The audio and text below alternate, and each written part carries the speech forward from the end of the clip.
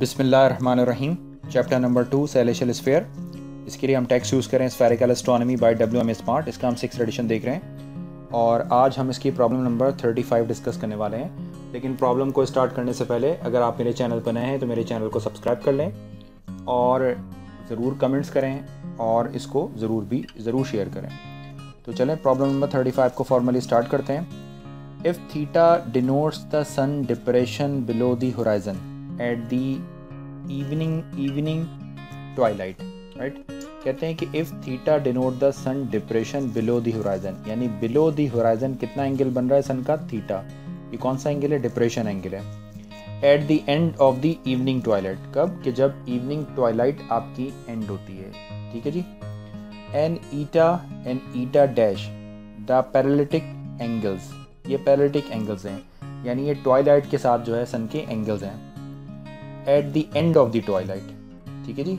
Parallactic angle angles at the end of the twilight and at the at at sunset यानी जो ईटा है आपके पास, वो पैलेटिक एंगल है कब? कि जब टॉयलाइट आपकी एंड होती है और ये जो ईटा डैश है, ये कब है? कि जब सनसेट होता है। ठीक है जी?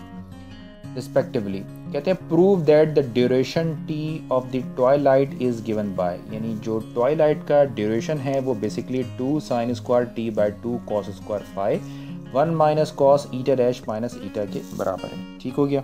तो ये थी हमारी प्रॉब्लम अब हमें अपनी प्रॉब्लम को देखना है। तो इस प्रॉब्लम के अंदर जो है, वो क्या कुछ गिवन है आपके पास? आपके पास पैरेलटिक एंगल्स गिवन है आपके पास। आपको ट्वाइलाइट का बताया गया है और बताया गया कि ये थीटा एंगल के ऊपर ट्वाइलाइट हो रही है आपकी। और आपने जो है इसका आवर एंगल यानी ड्यूरेशन जो है वो फाइंड आउट करना है, ठीक है जी? तो आवर एंगल ही होता है बेसिकली ड्यूरेशन तो वो ड्यूरेशन जो है वो बेसिकली आपने प्रूव करना है कि वो ड्यूरेशन इसके बराबर होगा, ठीक है जी? तो ये ड्यूरेशन आपके पास गिवन है। तो नॉर्मली अब तक जितनी भी प्रॉब्लम्स मैंने आपको करवाई हैं, अगर आप नोट करें एक प्रॉब्लम हम पहले भी इस तरह की डिस्कस कर चुके हैं। जहाँ पर आपको याद होगा कि हमने उस प्रॉब्लम के अंदर आ, हमने क्या किया था कि सन को फिक्स कर लिया था। नॉर्मली क्या होता है? In general we regard sun is a moving and the zenith ji as a fixed हम अब तक जितनी भी मैंने डायग्राम्स बनाई हैं ऑलमोस्ट सारी सिवाय एक को छोड़कर उसके अंदर हमने सन को जो है वो सन को जो है वो मूव करवाया था और जैनत हमारा फिक्स था। ठीक है जी? यानी ऑब्जर्वर फिक्स था। और तमाम की तमाम सैलेशल स्फर उस ऑब्जर्वर के रेफरेंस से मूव कर रहा था। लेकिन यहाँ पर हम क्या कर रहे हैं अपनी आसानी के लिए, अपनी आसानी के लिए here it is convenient the regard the sun as a fix हम सन को फिक्स कर रहे हैं। तो जब हम सन को फिक्स कर रहे होंगे तो इट मीन्स क्या होगा कि सन के रेफरेंस से वो जीनत मूव कर रहा होगा। तो zenith describing a small circle अब जीनत और पी और जीनत के दरमियान जो डिस्टेंस होता है, वो कितना होता है? नाइन्टी माइनस फाइव होगा। तो इट मीन्स कि जो जैनत है आपके पास, वो पी के अराउंड जो मूव मूवमेंट होगी, वो उतने रेडियस का एक, यानी 90 माइनस फाइव रेडियस का एक एक डायरनल पाथ बन जाएगा अराउंड पी जैसा कि फिगर के अंदर दिखाया गया। ठीक है जी? तो यहाँ पर हम प्रॉब्लम के अंदर क्या कर रहे हैं, मैं आपको इस डायग्राम में बताता हूँ। ये है मेरा सेलेशियल स्फेयर ठीक है जी? ये मेरा सेलेशियल स्फेयर है, ये मेरा होराइजन है और ये है मेरा इक्वेटर ठीक है जी? और ये जैनत है और ये है आपके पास क्या है? पोल और फॉर एग्ज़ाम्पल ये है आपके पास सन सन को आपने फ़िक्स कर लिया। तो जब आपने सन को फ़िक्स कर लिया तो इट मीन्स आपके पास ये जो है जैनत मूव करेगा। अब ये जैनत कितना मूव करेगा? बहुत सिंपल सी बात है कि ये जो डिस्टेंस है, ये है 90 माइनस फाइव तो जो ये क्या क्या होगा? इसको हम क्या एक्सपेक्ट कर सकते हैं कि ये बेसिकली आपके लिए, यानी सन के लिए एज अ रेडियस काम करेगा। ठीक है नहीं तो सन का एक रेडियस हो जाएगा। मैं बहुत रफली सा इस जैनत का एक डायरनल पाथ भी आपके लिए बना देता हूँ ताकि ये जो आप हैं, वो आप समझ सकें आसानी से कि सपोज़ कीजिए कि सन इस डायरनल पाथ में मूव कर रहा है। जैनत सॉरी जैनत जो है वो इस डायरनल पाथ के अंदर मूव कर रहा है, ठीक है जी तो ये सन है सन को हमने फिक्स कर लिया। जब हमने सन को फिक्स किया तो ये। अच्छा ये बात हमें पहले से पता है कि सपोज़ कीजिए कि Z से लेकर S तक जो डिस्टेंस है, हम सपोज़ कर रहे हैं कि उस वक्त है कि ये लिखा हुआ है let Z be the position of the zenith at the end of the twilight at the end of the evening twilight ठीक है जी? तो इसका मतलब है कि ये उस वक्त है कि जब टॉयलाइट एंड हो रही है। हम साथ साथ इसको कंस्ट्रक्ट भी करते जाते हैं। तो ये सपोज़ कीजिए कि ये मैं एक और दूसरे पेन से इसको बनाता हूँ, ताकि ये जो है वो फिर आप अच्छा समझ सकें सपोज़ ये कीजिए।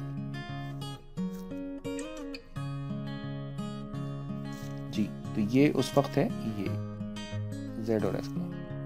ठीक है? तो ये कब है आपके पास? ये आपके पास है कि 90 प्लस थीटा, के जब आपके पास जो है वो इवनिंग ट्वाइलाइट जो होती है, वो एंड होती है। The position of the zenith at the end of the evening twilight ठीक है जी?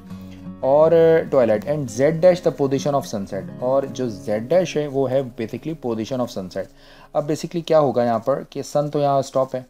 तो सन तो रुका हुआ है तो बेसिकली कि पहले ये आपके पास ट्वाइलाइट है फिर उसके बाद जो है वो ट्वाइलाइट कम होना शुरू हो जाएगी और या आप इवनिंग ट्वाइलाइट इवनिंग ट्वाइलाइट का मतलब है कि वो ट्वाइलाइट ख़त्म होना शुरू हो जाएगी और वो आ, सन जो है वो सेट हो जाएगा। ठीक है जी? तो इसका मतलब है कि सपोज़ कीजिए कि यहाँ पर कोई लोकेशन होगी आपके पास जैनत की कोई पोजीशन यहाँ पर सपोज़ कीजिए कुछ है इसको हम कह रहे हैं कि ये है जेड ठीक है जी? और हम ये कह रहे हैं कि ये z और s के दरमियान ये वाला जो फासला है ये उस वक्त है कि ये 90 डिग्री वाला फासला है। यानी उस वक्त है कि जब आपके पास जो है वो आ, सन जो है वो जो है वो होराइजन के ऊपर है। ठीक है जी? तो फिर ये टॉयलेट की वजह से ये मूवमेंट हो रही है और इसका जो जेनेट डिस्टेंस है वो इंक्रीज़ हो रहा है यहाँ पर। मेरा ख्याल है आपको ये बात समझ आ गई होगी। देखिए ये डिस्टेंस भी आपको ज़्यादा दिख रहा है। ठीक है जी? और ये डिस्टेंस कम दिख रहा है। तो ऑफ़ कोर्स के जैसे यहाँ पर मैं बनाऊँ तो होराइजन के ऊपर डिस्टेंस कम होता है। तो फॉर एग्जांपल ये जेड डैश समझ समझ समझ लीजिए आप। और होराइजन से नीचे फॉर एग्जांपल इसको जेड सपोज़ कर लीजिए। क्योंकि प्रॉब्लम के अंदर जो है वो ये चीज़ जेड डोमिनेट कर रहा है तो मैंने इसको जेड को सपोज़ कर लिया कि वो उस वक्त है कि जब आपकी इवनिंग टॉयलाइट जो है वो एंड होती है। ठीक है जी? तो यहाँ तक उम्मीद है कि आपको ये बात समझ आ गई होगी, और लिखा हुआ है Z dash the position at sunset तो क्या पता लगा भाई हमें? हम जो, हमें जो पता लगा, वो साथ साथ हम लिखते जाते हैं। ये बहुत इंपॉर्टेंट प्रॉब्लम है, बहुत टेक्निकल प्रॉब्लम है तो बहुत गौर से देखेंगे कि जेड डैश जेड और एस क्या हो जाएगा? ये बेसिकली हो जाएगा नाइन्टी प्लस थीटा के। ठीक है जी? इसी तरीके से इसी तरीके से आपने मुझे बताना है कि ये जो z और s डैश कितना होगा? ऑफ़ कोर्स ये कितना होगा? 90 डिग्री होगा, क्योंकि हम ये सपोज़ कर रहे हैं कि ये होराइजन के ऊपर है, ठीक है जी? और and the duration of twilight क्या होगी? ड्यूरेशन ऑफ़ ट्वाइलाइट जी जनाब, बताएँ आप यहाँ पर कि ड्यूरेशन ऑफ़ ट्वाइलाइट कितनी होगी? क्या कहेंगे ड्यूरेशन ऑफ़ ट्वाइलाइट के लिए? ऑफ़ कोर्स जो आपकी ड्यूरेशन ऑफ़ ट्वाइलाइट होगी, वो बेसिकली आपका एक आवर एंगल होगा, ठीक है जी? और वो कितना होगा? वो आवर एंगल होगा आपका, ऐसी ये आर्क आप इसको जो है वो, इसको प्रोसीड कर लें। मैं पहले इसको इसको जो है वो, इसका ब्लू से मैं उसको प्रोसीड कर लूँ, ऐसे। यस बल्कि एक मिनट इसको थोड़ा सा और हम अच्छा कर लेते हैं। आप यूँ कर लीजिए। हाँ जी। ये जो है आपके पास जेड डैश की पोजीशन थी और आपने जो है इसको ऐसे कर कर ये ज्वाइन कर दिया। सॉरी ठीक है जी? तो अभी भी अच्छी नहीं बनी यार। ड्राइंग मेरी राइट अब कुछ बेटर है। तो अब आपने इसको इसके साथ जो है वो ज्वाइन कर दिया ना? तो ज्वाइन कर दिया तो बेसिकली ये क्या हो गया आपके पास? भाई, देखें, यहाँ से लेकर, यहाँ से लेकर, यहाँ तक जो है, वही तो आपकी टॉयलेट की ड्यूरेशन है। तो वो टॉयलेट की ड्यूरेशन जो है बेसिकली वो यकीनन ये वाला एंगल होगा। ठीक है तो हम इस एंगल को जो है, वो कैपिटल टी से रिप्रेजेंट कर रहे हैं। और यही तो आपने मालूम करना है कि ड्यूरेशन ऑफ़ टॉयलेट क्या है। अच्छा जी, वापस मैं जिसको जो है, वो जेड डैश रिप्रेजेंट कर देता हूँ यहाँ पर। ये जो है, वो बेसिकली आपका जेड डैश है, ताकि कोई कन्फ्यूज़न ना रहे आपके पास। ठीक है जी? तो यहाँ पर आपको जो टॉयलेट की ड्यूरेशन है, अब आप मुझे, अब आपको ये बात समझ आ गई होगी कि टॉयलेट की ड्यूरेशन क्या है। तो टॉयलेट की ड्यूरेशन बेसिकली टी से रिप्रेजेंट हो रही है और वो एक एंगल है Z P N Z dash का। ठीक है जी? ये देखिए Z P N Z dash Z P N Z dash ये वाला एंगल जो है वो बेसिकली यही आपका टॉयलेट है। ठीक है? मैंने जेड को एस के साथ भी ज्वाइन कर लिया, क्यों कर लिया? क्योंकि आपको इस प्रॉब्लम के अंदर एक और चीज़ गिवन है और वो क्या गिवन है? आपको इसका पैरेलिटिक एंगल गिवन है। ठीक है जी? तो वो भी मैं भी आपको स्केच करके दिखाता हूँ और बताता हूँ कि क्या है। थोड़ा सा हम उसको आगे चलते हैं पहले तो। जनाब तो यहाँ तक हमें बात पता लग गई है। अगेन हम अगेन हम ये मैं अगर आपसे पूछूँ कि ये जो Z, S और P क्या है तो बताएँ ये एंगल कितना होगा? दिस इज़ Z ठीक है जी? S और P तो Z, S और P Z, S और P जनाब ये एंगल कितना होगा? ये आपका पैलेटिक एंगल है तो वो एंगल आपके पास क्या गिवन है? प्रॉब्लम के अंदर ईटा गिवन है। तो ये आपका पैलेटिक एंगल है वो हो जाएगा ईटा ठीक है जी? और मैं एक एक स्टेप आपको बता रहा हूँ बहुत गौर से आपने बहुत ध्यान से आपने समझना है। And Z dash S P आप बताएँ क्या होगा? जनाब यह है आपके पास जेड डैश ठीक है जी? ये है आपके पास एस और ये है आपके पास सॉरी एक मिनट। ये जो है हम्म, इसको भी तरह हम पहले ज्वाइन कर लें ज़रा क्योंकि जो है ना वो थोड़ा सा समझाना आपको मुश्किल हो रहा है। ये पहले जेड और जिस तरह हमने इसको इन दोनों को ज्वाइन किया ना तो पी और जेड को भी ऑफ़ कोर्स आपको पता है कि हमें ज्वाइन करना होता है। तो पहले तो हम इसको रब कर लेते हैं ऐसे कर कर पहले हम इसको ऐसे करके ज्वाइन कर लेते हैं। ये आपका आ गया है। थोड़ा और अच्छा करते हैं इसको। ये ऐसे आपने इसको ऐसे करके ज्वाइन कर लिया। ठीक है जी? तो आ, ये तो हो गया आपका यहाँ तो z डैश आपके पास लिखा हुआ भाई छोटा सा मैं z डैश लिख देता हूँ समझ जाइएगा आप। ठीक है जी? तो अब आप मुझे बताएँ कि z डैश s और p क्या है? तो प्रॉब्लम के अंदर मेंशन है कि जो z डैश s और p आपके पास गिवन है वो बेसिकली आपके पास है क्या? ईटा डैश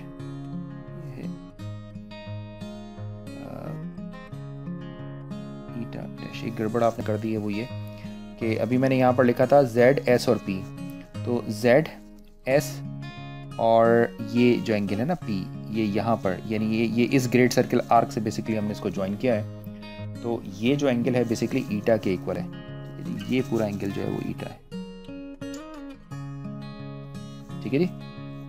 तो ये आप ध्यान में ध्यान में रखिएगा, ये कंस्ट्रक्शन बहुत इंपॉर्टेंट है। कि ये जो है वो Z, S और P, यानी ये वाला जो एंगल है वो ईटा के इक्वल है और z डैश z डैश और s sorry z dash s और p, ये जो एंगल है आपके पास वो किसके बराबर है? वो बराबर है आपके पास ईटा डैश के। ये पैरेलटिक एंगल है, यानी पैरेलटिक एंगल का मतलब ये होता है कि ये पोल से कितना एंगल बनाते हैं ठीक है जी? तो पोल से कितना एंगल बन रहा है वो बेसिकली इसका पैरेलटिक एंगल हो गया ठीक है? अच्छा जी अब हम क्या करने वाले हैं? सिर्फ़ एक आखिरी बात आपने प्रॉब्लम में देखी है। क्या आप मुझे बता सकते हैं कि ये एंगल कितना होगा? ये दरमियान वाला एंगल कितना होगा? यानी Z, S और P एंगल कितना होगा? या आप आ, या आप मुझे ये बताएँ कि Z डैश S और Z, ये ये एंगल सॉरी मैंने गलत बता दिया। Z डैश S और Z डैश यानी ये एंगल कितना होगा? यानी जी एस और जी क्योंकि बहुत सा डिटेल इसमें आप भी यकीन इसमें थोड़ा सा कंफ्यूज हो रहे होंगे। बट एक दफ़ा आप इसको फिर प्रैक्टिस कीजिएगा तो आपको इंशाल्लाह बहुत अच्छा समझ आ जाएगा ये। ये वाला एंगल बताएँ कितना होगा? ये वाला एंगल आपका क्या हो जाएगा? ये वाला एंगल आपका हो जाएगा ईटा माइनस ईटा डैश ठीक है जी? तो यहाँ पर आपने ये चीज़ मुझे यहाँ पर बतानी है कि ये जो एंगल है आपके पास z डैश एस और z, ये कितना हो जाएगा? समझ आ गई आपको? यहाँ पर z डैश एस और z, यानी ये एंगल कितना होगा? तो ऑफ़ कोर्स वो ईटा माइनस ईटा डैश हो जाएगा। जनाब तो ये बन जाएगा आपके पास। क्या चीज़ हो जाएगी आपके पास? ये आपके पास आ जाएगा ईटा माइनस ईटा डैश। ठीक है जी तो बहुत सारी चीज़ें मैं आपके साथ ही नए नए एक्सपेरिमेंट्स कर रहा हूँ। तो फिर हमने उसके बाद ज्वाइन किया, लेकिन मैंने चले पहले ही ज्वाइन कर लेना है। Now join Z and Z dash मुझे उसके बाद ज्वाइन करना चाहिए था, इसीलिए इसमें कन्फ्यूज़न हो गई। तो फिर मैंने उसके बाद जो है वो जेड और जेड डैश को आपस में ज्वाइन कर लिया। यहाँ पर बाय ग्रेट सर्कल आर्क से हमने इसको ज्वाइन कर लिया।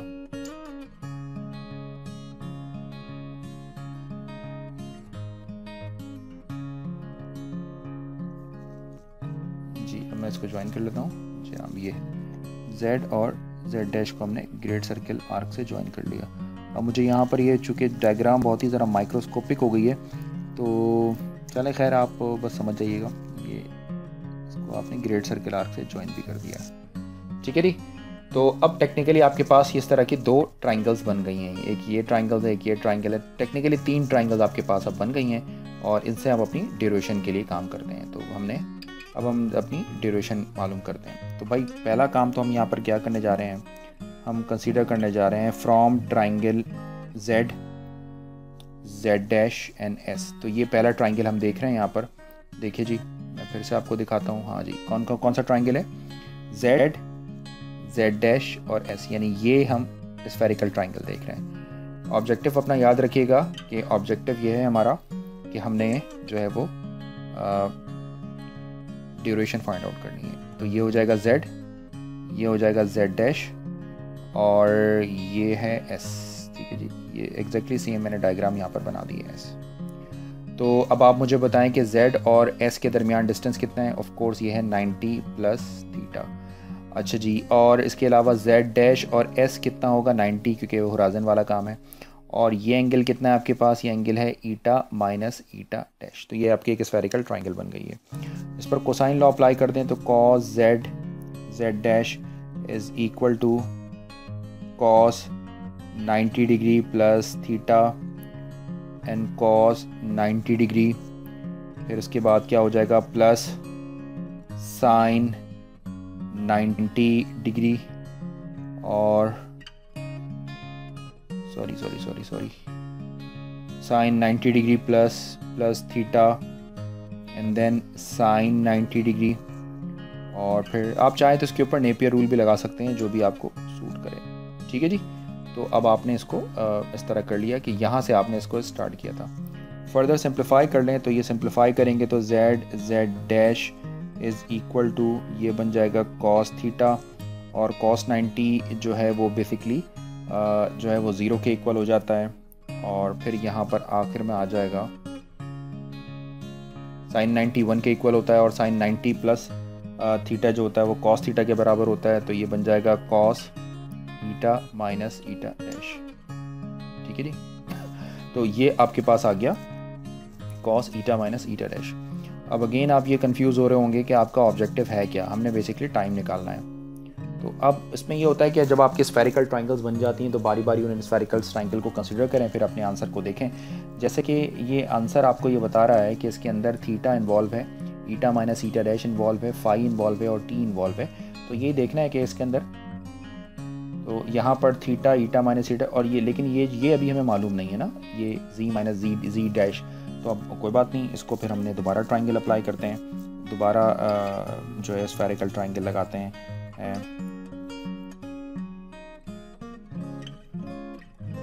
जैसे जैसे आप प्रॉब्लम्स को एंड करते जाते हैं बुक की प्रॉब्लम तो वो प्रॉब्लम थोड़ी सी टफ हो जाती हैं।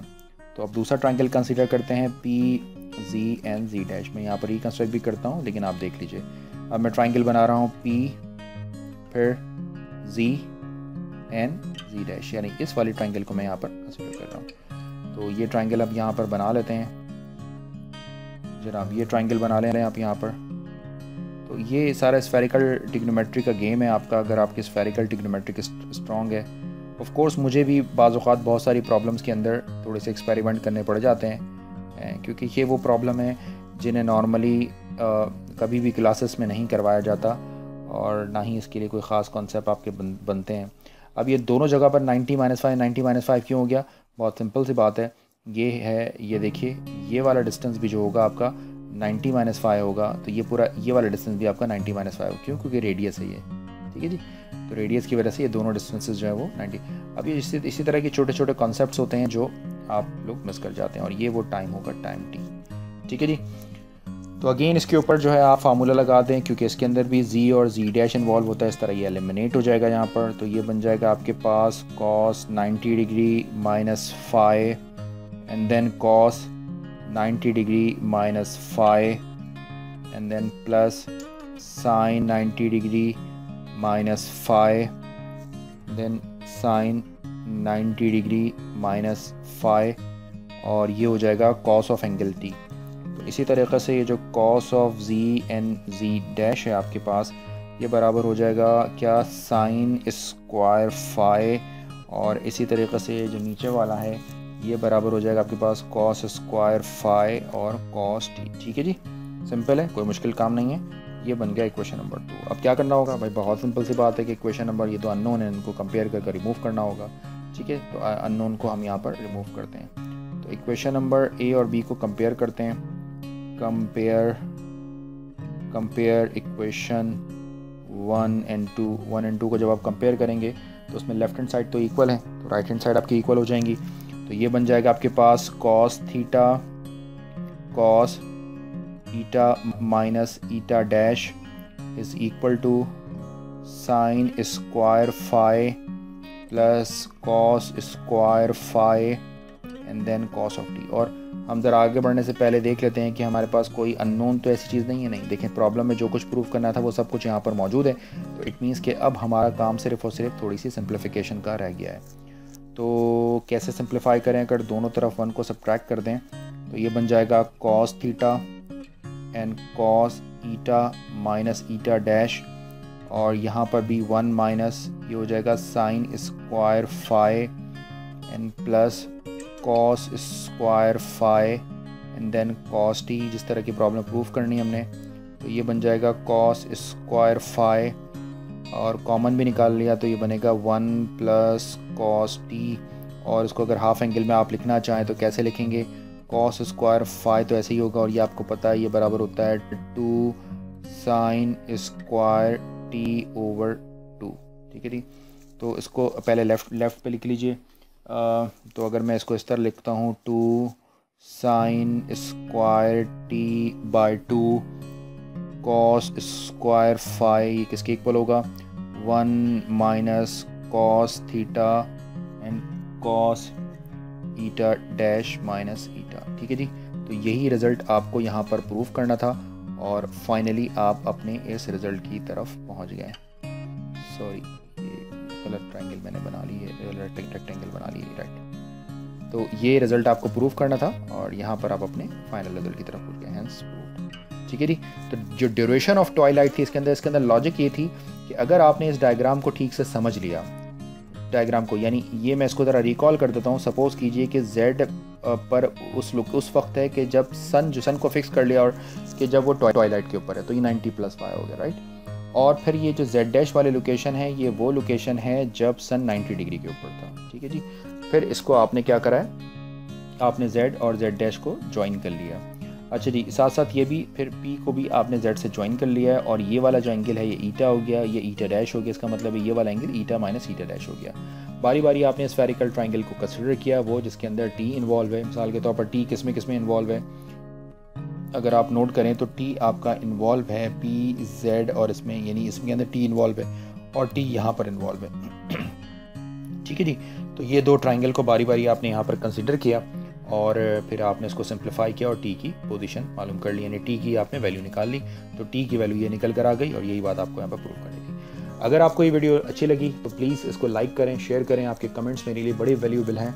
और इन वीडियो से मुझे कोई भी फाइनेंशियल है सच कोई ख़ास फाइनेंशियल बेनिफिट तो नहीं है, ये सिर्फ़ मेरा शौक़ है और मैं चूँकि astronomy mathematical specifically mathematical astronomy का बहुत शौकीन हूँ तो वो मैं ख़ुद भी पढ़ता हूँ और वीडियोज़ भी डालता हूँ। तो प्लीज़ इनको लाइक ज़रूर कीजिएगा। Thanks for watching this video अल्लाह हाफिज़।